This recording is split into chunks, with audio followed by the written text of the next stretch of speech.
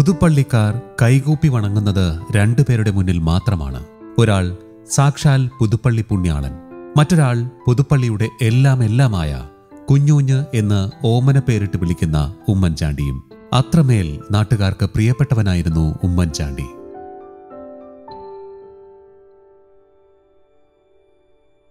എത്ര തിരക്കുകൾക്കിടയിലും ഞായറാഴ്ച അദ്ദേഹം കൃത്യമായും പുതുപ്പള്ളിയിലെത്തി തന്റെ മുന്നിൽ നിവേദനങ്ങളുമായി നിൽക്കുന്ന പാവങ്ങളുടെ നേറുന്ന പ്രശ്നങ്ങൾക്ക് പരിഹാരം കണ്ടെത്തുമായിരുന്നു.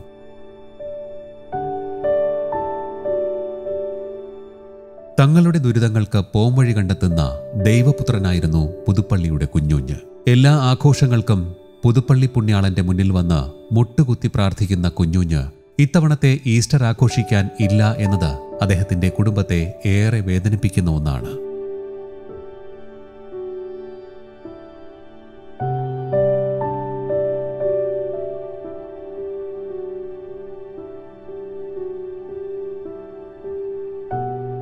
അരനൂറ്റാണ്ട് നീണ്ട ഒരുമിച്ചുള്ള ജീവിതത്തിൽ സുഖത്തിലും ദുഃഖത്തിലും തോളോട് തോൾ ചേർന്ന് നിന്ന തന്റെ പ്രിയതമന്റെ വേർപാട് വിതുമ്പലോടെ ഓർക്കുകയാണ് യശശരീരനായ ഉമ്മൻചാണ്ടിയുടെ പ്രിയപത്നി കഷ്ടാനുഭവിച്ച അല്ലെങ്കിൽ ഹാസ്യ ആഴ്ച. ഓശാന്റെ കൂടെ ഞങ്ങൾ ആചരിക്കുന്നത്. പക്ഷേ ഓശാനയ്ക്ക് ഞങ്ങൾ ഒരിക്കലും ഒന്നിച്ചായിരുന്നില്ല. ഉമ്മൻചാണ്ടി പുതുപ്പള്ളിയിലും ഞങ്ങൾ തിരുവനന്തപുരത്ത് സെന്റ് ജോർജ് പള്ളി അല്ലെങ്കിൽ നന്ദൻകോട് പള്ളി. ഓശാനയ്ക്ക് ഒരിക്കലും അദ്ദേഹം ഞങ്ങളുടെ കൂട്ടത്തിലുണ്ടായിരുന്നില്ല. പക്ഷേ പെസ വ്യാഴാഴ്ച ഉണ്ടായിരുന്നു. നിർബന്ധമായിട്ട് ഞങ്ങൾ കുറേ വർഷങ്ങളായിട്ട് നന്ദങ്കോട് ഗ്രിഗോറിയസ് പള്ളിയിലാണ് പോയിക്കൊണ്ടിരുന്നത് സെന്റ് മേരീസ് ഗ്രിഗോറിയസ് അപ്പോൾ കഴിഞ്ഞ ദിവസം ഞാൻ ഓശാനയ്ക്ക് നന്ദങ്കോട് പള്ളിയിലാണ് പോയത്. എനിക്ക് ആ ഓർമ്മയെല്ലാം വന്നു. കോട്ടയം ജില്ലയിലെ കുമരകത്ത് നസ്രാണി മലങ്കര ഓർത്തഡോക്സ് സുറിയാനി ക്രിസ്ത്യൻ കുടുംബത്തിൽ കരോട്ട് വള്ളക്കാലിൽ വീട്ടിൽ ബേബിയുടെയും കെ ഒ ചാണ്ടിയുടെയും മകനായി ആയിരത്തി തൊള്ളായിരത്തി നാൽപ്പത്തി മൂന്ന് ഒക്ടോബർ മുപ്പത്തിയൊന്നിനായിരുന്നു ഉമ്മൻചാണ്ടിയുടെ ജനനം.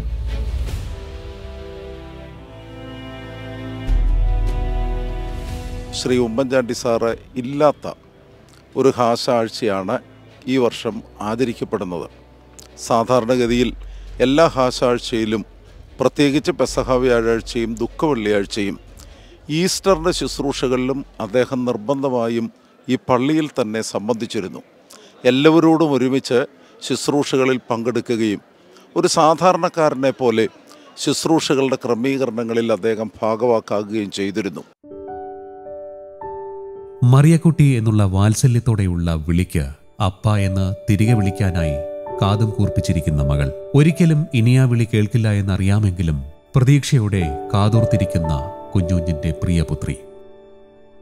എനിക്ക് സത്യം പറഞ്ഞാൽ കഴിഞ്ഞ വർഷത്തെ ഓർമ്മയാണ് പഴയതിനെക്കാട്ടി വരുന്നതെന്ന് വെച്ചാൽ കഴിഞ്ഞ വർഷം ഞങ്ങൾ ബാംഗ്ലൂർ ട്രീറ്റ്മെന്റിലിരിക്കുക പക്ഷേ ഈ ഒരു സമയം ഞങ്ങൾക്ക് അവസാനം ഗുഡ് ഫ്രൈഡേയുടെ സമയത്ത് ഞങ്ങളവിടെ ബാംഗ്ലൂർ പള്ളിയിൽ സർവീസിന് പോകാൻ പറ്റിയായിരുന്നു. അപ്പോൾ സത്യം പറഞ്ഞാൽ അതൊരു ഭയങ്കര ഒരു അപ്പോൾ നല്ല വീക്കായിരുന്നു അപ്പോൾ ട്രീറ്റ്മെന്റ് നടക്കുമായിരുന്നു പക്ഷേ അവിടെ പള്ളി പോകാൻ പറ്റിയതുകൊണ്ട് ഞങ്ങൾക്ക് വലിയൊരു പ്രതീക്ഷയായിരുന്നു അപ്പോൾ അത് കിട്ടിയത്. അപ്പയും കൊണ്ട് പള്ളി ഞങ്ങൾ ആ ആ ഈ കഷ്ടാനുഭവിച്ച എല്ലാ ദിവസവും അപ്പയുമായിട്ട് കാറിൽ പോയിട്ട് അവിടെ ബാംഗ്ലൂർ നമ്മുടെ കത്തീഡ്രലിൽ തന്നെ കാറിൽ വെളിയിൽ കിടക്കുമായിരുന്നു കിടന്നിട്ട് അപ്പം അപ്പം സർവീസ് കേൾക്കുമായിരുന്നു ഗുഡ് ഫ്രൈഡേ ഞങ്ങൾ എല്ലാവരുമായിട്ട് അപ്പയും കൊണ്ട് നടന്ന് സർവീസ് തീർന്നതിന് ശേഷം പ്രാർത്ഥന എല്ലാം കഴിഞ്ഞതിന് ശേഷം മൂന്നര നാല് മണിയൊക്കെ ആകുമ്പോൾ തീർന്നു. അത് കഴിഞ്ഞ് വൈകിട്ട് ഞങ്ങൾ അപ്പയുമായിട്ട് വന്ന് അപ്പ പള്ളിക്കകത്ത് നടന്ന് കയറി അവിടെ നിന്ന് പ്രാർത്ഥിച്ചു. അന്ന് ചെറിയ ഒരു ഒരു എല്ലാവരും ചെറിയൊരു വിവാദമൊക്കെ വന്നെങ്കിലും പക്ഷേ ഞങ്ങൾക്കതൊരു വലിയൊരു അപ്പ അങ്ങനെ തന്നെ നടന്ന് കയറി മീൻ സപ്പോർട്ടോടെയാണ് നടന്ന് കയറിയത് ഞങ്ങൾക്ക് വലിയൊരു പ്രതീക്ഷയുടെ ഒരു കാലമായിരുന്നു. കേരള നിയമസഭയിൽ ഏറ്റവും കൂടുതൽ കാലം ചെലവഴിച്ച അംഗം ഉമ്മൻചാണ്ടി മാത്രമായിരിക്കും. ആയിരത്തി തൊള്ളായിരത്തി എഴുപത് മുതൽ തന്റെ മരണം വരെ അതായത് രണ്ടായിരത്തി ഇരുപത്തി മൂന്ന് വരെ തുടർച്ചയായി അൻപത്തിമൂന്ന് വർഷം പുതുപ്പള്ളി മണ്ഡലത്തെ പ്രതിനിധീകരിച്ച ഏക സാമാജികനും കൂടിയാണ് ഉമ്മൻചാണ്ടി. ചെറുപ്രായത്തിലെ കോൺഗ്രസ് രാഷ്ട്രീയത്തിൽ ആകൃഷ്ടനായ ഉമ്മൻചാണ്ടി നാല് പ്രാവശ്യം കേരള സർക്കാരിൽ മന്ത്രിയായി. തൊഴിൽ ധനകാര്യ വകുപ്പുകൾക്ക് പുറമെ രണ്ട് തവണ കേരളത്തിന്റെ മുഖ്യമന്ത്രി പദവും അലങ്കരിച്ചു. ഞാനൊരു മുപ്പത് മുപ്പത്തഞ്ച് വർഷക്കാലം ഉമ്മൻചാണ്ടി സാറിന്റെ കൊടുത്തി ഇവിടെ പ്രവർത്തിച്ചൊരു വ്യക്തിയാണ്. സാറ് കഴിഞ്ഞ തവണ ഇല്ലായിരുന്നു. കഴിഞ്ഞ തവണ ബാംഗ്ലൂരായിരുന്നു. അനുമുന്നത്തെ തവണ ഞങ്ങൾ ഇവിടെ ഈ ആശാഴ്ചയിൽ പങ്കെടുക്കുകയും കുരുത്തോല പഠിച്ച് പോവുകയും ചെയ്തു. ആ കുരുത്തോല എന്നെ ഏൽപ്പിച്ചിരുന്നു സാർ കാരണം വീട് പണി നടന്നുകൊണ്ടിരിക്കുകയായിരുന്നു. അപ്പം വീട്ടിൽ വെക്കാനായിട്ട് വെച്ചിരുന്നു. അത് ഞാൻ ഇപ്പോഴും സൂക്ഷിച്ചു വെച്ചിട്ടുണ്ട്. സാറില്ലാത്ത ഒരു ഓശാനയാണ്. അതിന്റേതായ ഒരു ദുഃഖങ്ങളും സങ്കടങ്ങളും ഒക്കെ ഉണ്ട്. എന്നാലും ഉമ്മൻചാണ്ടി സാർ ഇത് സ്വർഗത്തിരുന്ന് കാണുന്നു എന്ന് മാത്രം പറയുന്നു.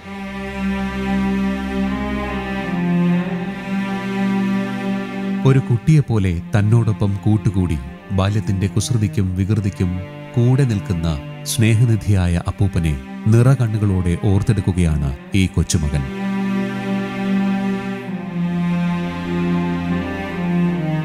ഇപ്പോൾ ഈ കോവിഡ് സമയമൊക്കെ ആയതിനു ശേഷം പിന്നീട് ഞാനും ഇപ്പോൾ ഇടയ്ക്കിടയ്ക്കൊക്കെ പുതുപ്പള്ളിയിൽ കൂടെ പോവായിരുന്നു പിന്നെ എലക്ഷൻ സമയത്തൊക്കെ ആണെങ്കിൽ ഇപ്പോൾ ഓരോ പ്രചരണം ഇപ്പോൾ റോഡ് ഷോയ്ക്കൊക്കെ ആണെങ്കിൽ വണ്ടിയിലൊക്കെ കൂടെ കയറ്റി എന്നെ എല്ലായിടത്തും കൊണ്ടുപോവൊക്കെ ചെയ്യും. പിന്നെ ക്രിസ്മസ് ഒക്കെ ആഘോഷിക്കുമ്പോൾ ഒരുമിച്ചാണ് എപ്പോഴും. രാവിലെ ബ്രേക്ക്ഫാസ്റ്റ് ഒക്കെ കഴിച്ചിട്ടായിരിക്കും എപ്പോഴും കോട്ടയത്ത് പോകുന്നത്.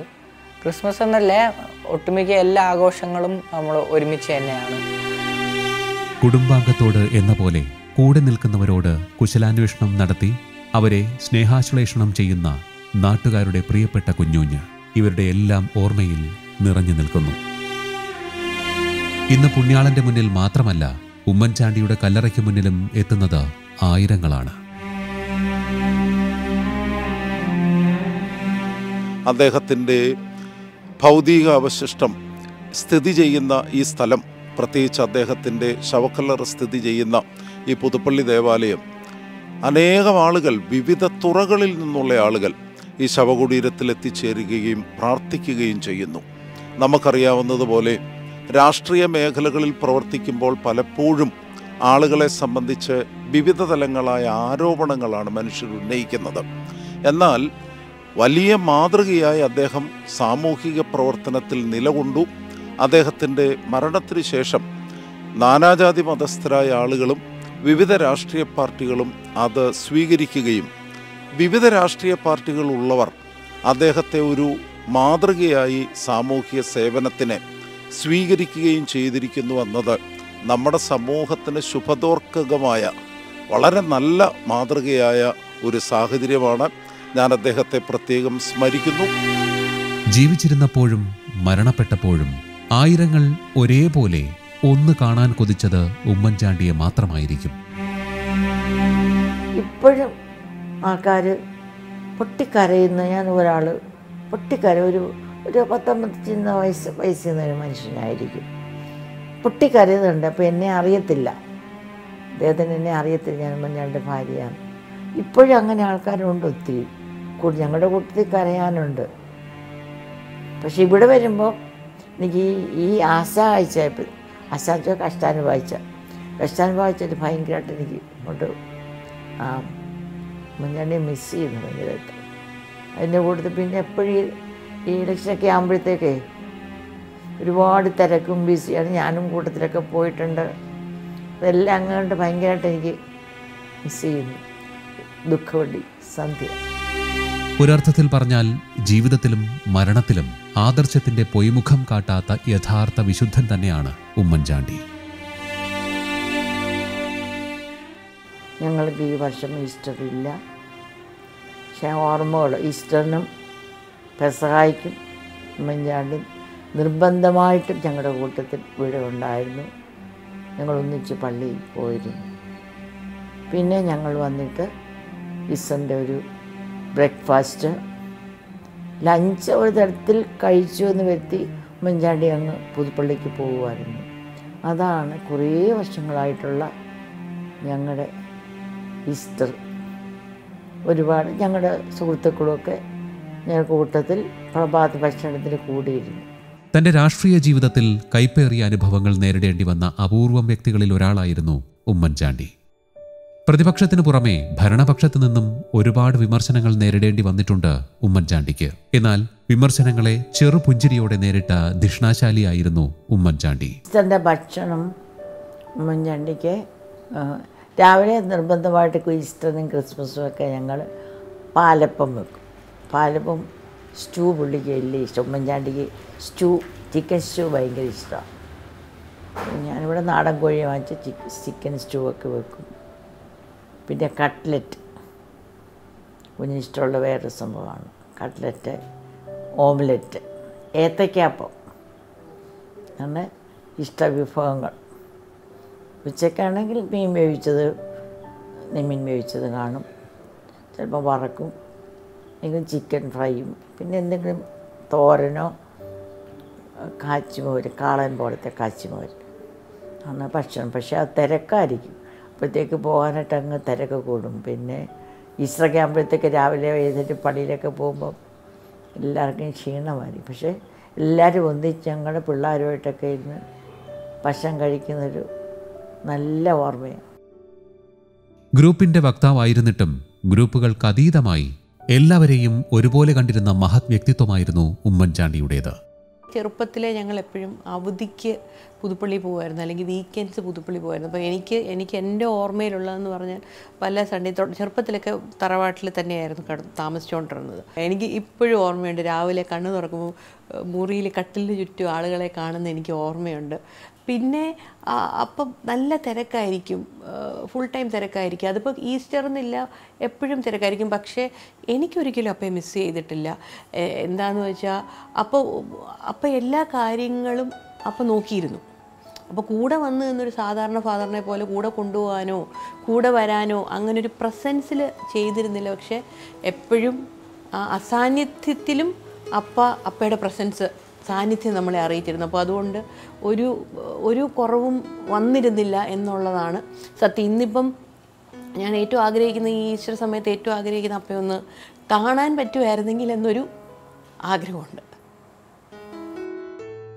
മുഖ്യമന്ത്രി പദത്തിലിരിക്കുമ്പോൾ ധീരമായ പല തീരുമാനങ്ങളും നടപ്പാക്കിയ ഉറച്ച ഭരണാധികാരിയായിരുന്നു അദ്ദേഹം. അതിലൊന്നായിരുന്നു ലോകം മുഴുവൻ ശ്രദ്ധിക്കപ്പെട്ട ബഹുജന സമ്പർക്ക പരിപാടി. ഒരുപക്ഷെ ലോകത്താദ്യമായിരിക്കും ഒരു ഭരണകർത്താവ് പൊതുജനങ്ങൾക്കിടയിലേക്ക് ഇറങ്ങിച്ചെന്ന് അവരുടെ ദുരിതപൂർണമായ പ്രശ്നങ്ങൾക്ക് ഉചിതമായ പരിഹാരം കണ്ടെത്തിക്കൊടുത്തത്. അദ്ദേഹത്തിന്റെ ഭരണകാലത്ത് ഏറെ പ്രശംസിക്കപ്പെട്ട ജനസമ്പർക്ക പരിപാടിക്ക് യുണൈറ്റഡ് പബ്ലിക് സർവീസ് അവാർഡും ലഭിക്കുകയുണ്ടായി. കൂടാതെ രണ്ടായിരത്തി പതിമൂന്നിൽ ഐക്യരാഷ്ട്രസഭയിൽ നിന്നും പൊതുസേവനത്തിനുള്ള അവാർഡും തേടിയെത്തി.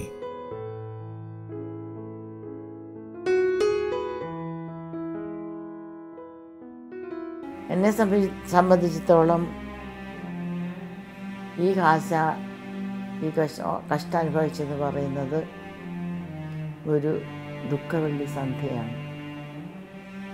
ദുഃഖ ശനിയാഴ്ചയാണ്. ദുഃഖ ശനിയാഴ്ച രാവിലെയാണ്. ഉമ്മൻചാണ്ടിയുടെ അവസാന കാലം ഏറെ സങ്കടപൂരിതമായിരുന്നു. കഴിഞ്ഞ പ്രാവശ്യം അങ്ങനെ അപ്പയ്ക്ക് കഴിക്കാൻ ബുദ്ധിമുട്ടുണ്ട്. വെച്ച് ഇങ്ങനെ കഴിക്കാൻ പറ്റത്തില്ല.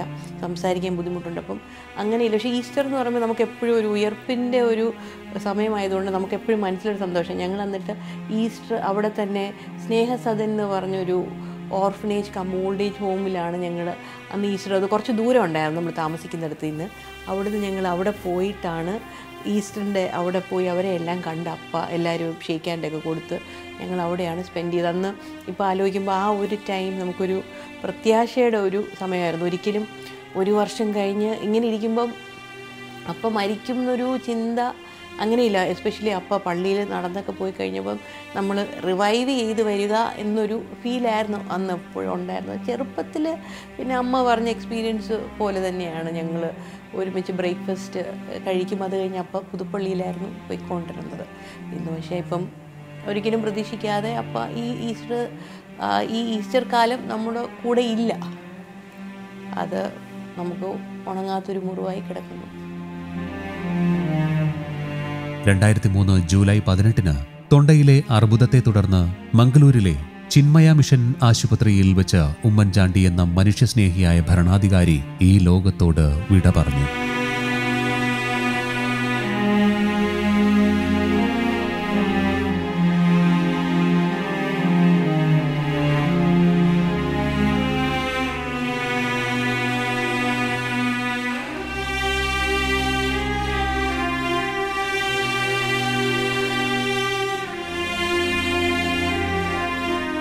തിരുവനന്തപുരത്തെ പൊതുദർശനത്തിന് പതിനായിരങ്ങളാണ് മണിക്കൂറുകളോളം കാത്തുനിന്നത്.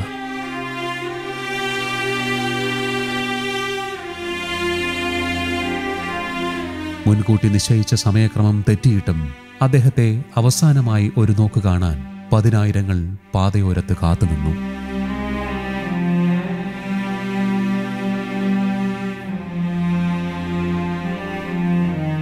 ഉമ്മൻചാണ്ടി ജീവിച്ചിരുന്നപ്പോൾ തന്റെ സ്വദേശമായ പുതുപ്പള്ളിയിലേക്ക് യാത്ര ചെയ്യാൻ എടുത്തിരുന്നത് മൂന്നര മണിക്കൂറായിരുന്നു.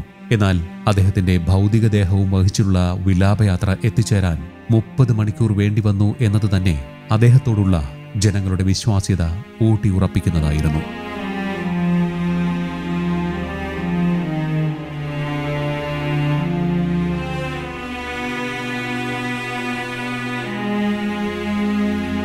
കേരളം കണ്ടതിൽ വെച്ച് ഏറ്റവും ജനസഞ്ചയമേറിയ വിലാപയാത്രയായിരുന്നു ഉമ്മൻചാണ്ടിയുടേത്.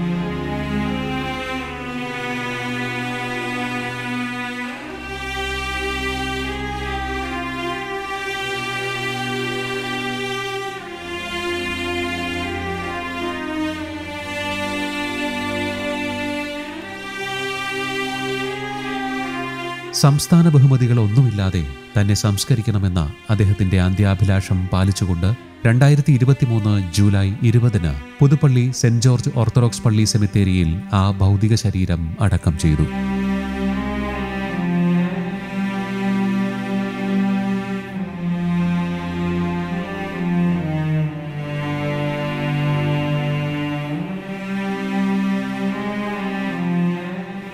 വെള്ളക്കതിർധാരികളെ കാണുമ്പോഴത്തേക്ക് എനിക്ക് വല്ലാത്തൊരു ഹോം സിക്നസ്സാണ് ഇത് തന്നെ ഫീൽ ചെയ്യുന്നുണ്ട്.